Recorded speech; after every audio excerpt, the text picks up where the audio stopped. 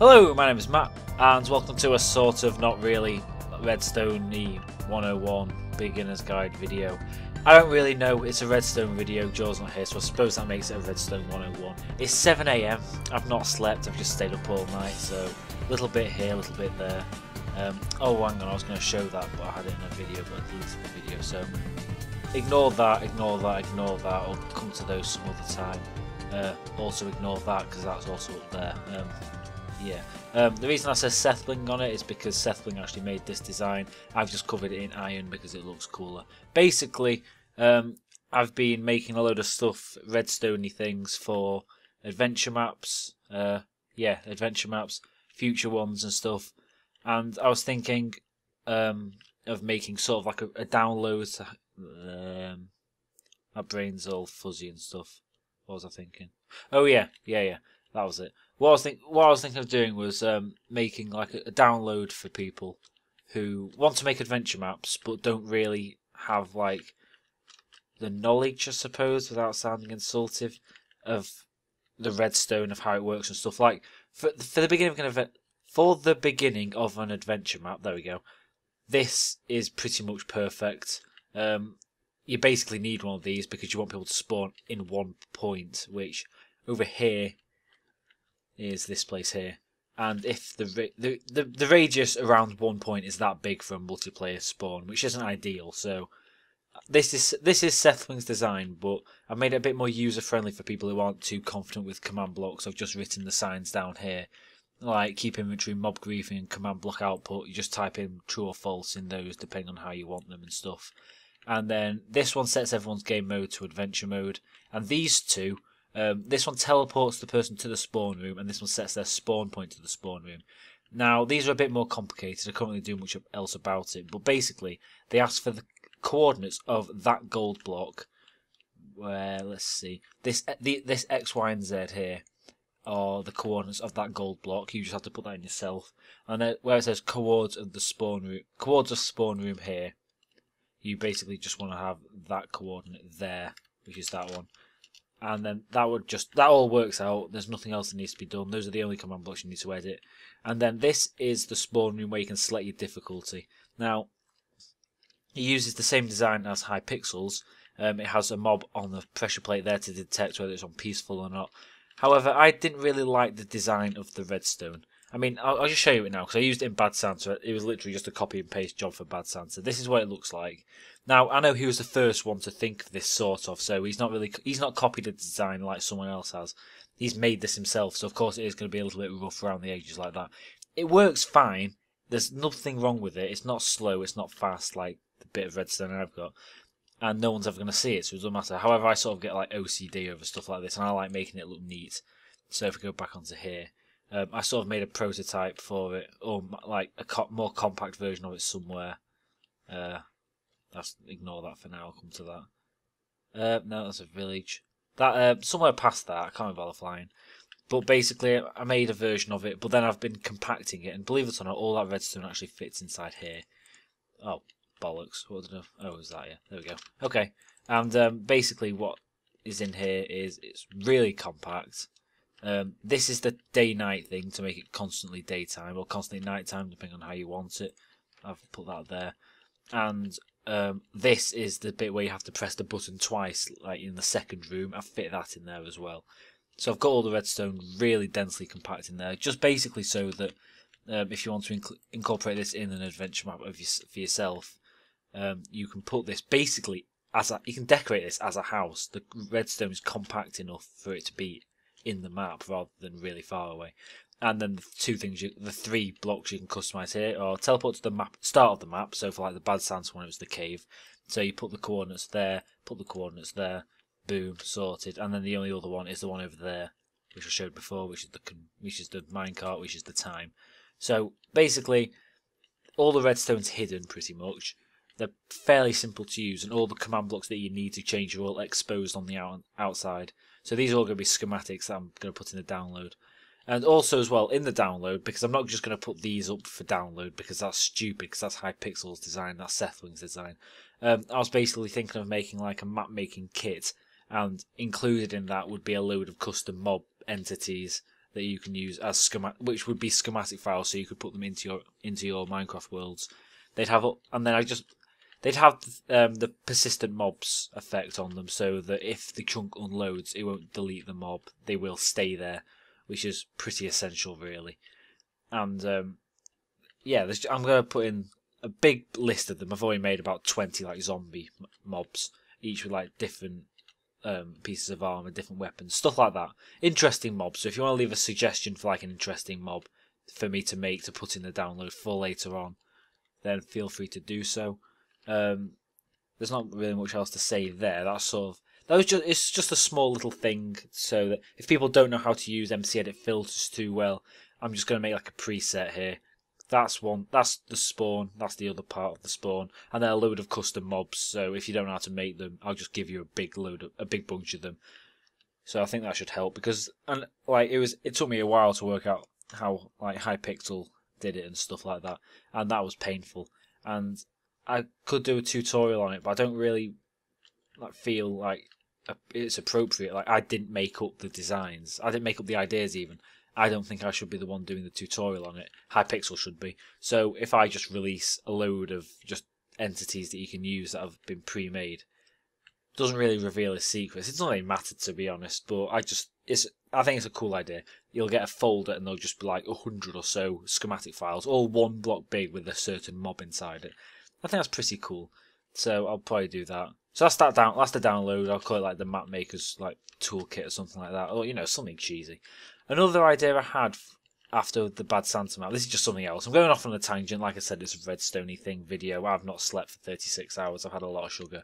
And um, basically, this is a checkpoint. This would have been really handy. I've overcomplicated this. It only really has to be a button with a command block. But basically, um, in the Bad Santa map, with the very with the first bit, which is the river, it was a bit annoying if you got to the end, died, and had to run all the way back. This would be a very simple solution. Press the button, it sets my spawn point to here Sets everyone's spawn point on the map. It's just me at the moment, so you know. And um, so if you if you die, I'm just, I'm just going to kill myself. You know, respawn. Yeah, it just spawns you back here again. That'll be useful. And then people can choose their spawn points, then go back to previous checkpoints and press the button again. So I just I just think having these all around the map would be would have been pretty good. So for future adventure maps that me and Jordan are going to be building, going to be putting those everywhere. And uh, there's one more thing. Um, oh yeah, the clock. The clock. I wanted to make a big timer. Like I said, I had a, I had a few hours to kill because I, I didn't sleep. Um, so this was a clock, and I'm going to use this in future adventure maps because I've got I thought of some really cool ideas. Um, so I'll tell Jordan about those and I'll work on them later on. But this was a cool idea. Um, it's pretty pretty simple to be honest. You know, you can't. There's not much there. It's a, a few pieces of redstone, a piston or two. Uh, basically, the way this works is this is a piston tape. If you can see, there's one, two, there's 10, 10 bits in like one reel, and um, redstone like pokes through them diagonally from each other, like that one, that one, that one. And I've just wired it up so that it'll show a number, so it's six. And when I press a button down here, it advances the piston tape on one cycle, and I've just made it so it shows five it's very cluttered. It's very unorganized. It's not like there's a straight line down the middle of it that show, that gives off the, that holds the info for the number. It, it like it zigzags, and then the six, the seven of those, the, the bottom seven show the seven segments. This top one, no, the second to top one, um, only has one bit of information in it, and that'll light up. That'll come through here when it's at its highest value. So in this case, it'll be a nine. That one is just a five. This one will show a nine, and then the top one shows its lowest case. Lowest case. So this will light up when it shows zero. So the the bottom seven are just for visuals, and then the top two actually help. They don't actually contribute to the display, but when it's zero, it gives off a signal. When it's nine, it gives off a signal. Um, there's a bit. This one's a bit different. It's a little bit longer because this only goes up because there's only 59 seconds in a minute. No, there isn't. Shit, there's 60. You know what I mean? 59 is is, is a clock. Um, so this is gonna ha- only have six digits in it. 0, 1, 2, 3, 4, and 5. That's six digits. If I was to make it 3 for 3, it would be tiny. I wouldn't be able to fit all this redstone in the middle of it. So rather than having 0 to 5, this goes 0 to 5, 0 to 5. So there's 12 here. You know, it's extended one. And then instead of having, say, this only goes around when it's at its lowest value, so it will show 0 once. You can see there's two here. It'll show 0. Then this one will come around and show 0 again. Then these two are identical to these two. Basically, when this gets up to when this goes to it goes down so when it gets to 9 when this goes to 9 um, it'll be at its highest value so this will light up. It'll come down here like this and then go into the input of the next one. So basically when this is running this will go downwards but when this gets to 0 it'll go back up to 9 but also reduce this by 1 so this is this is tied to a clock goes down once every second. This goes this is tied to that goes down one you, you know and then that ties to that, that that ties to that. Since this only goes up to six it's just a continuous like loop one goes into the next which goes into the next. It all works out pretty nicely. The beginner's guide to redstone where i showed the seven segment display um, that's the really old fashioned way of doing it. If i was to do this with binary digits it'd suck. It'd be it, it'd fill all this really. Pistons let you cheat really which is which is good. Um, so if I was to set this going, I'm just there we go, get that going. Look at that. So that's pretty cool. It's one big piston tape, and then when that gets round, it activates that one, and then that one, and that one. So it's showing two, uh, 52 minutes, one second.